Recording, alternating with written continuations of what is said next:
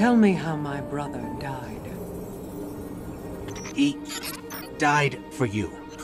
Everything he did, he did to save you.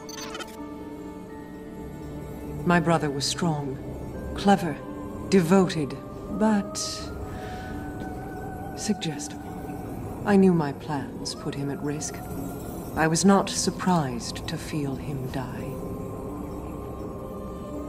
He killed our friend. Yes. I'm sure you'll miss it. Were you satisfied by your vengeance? I wasn't.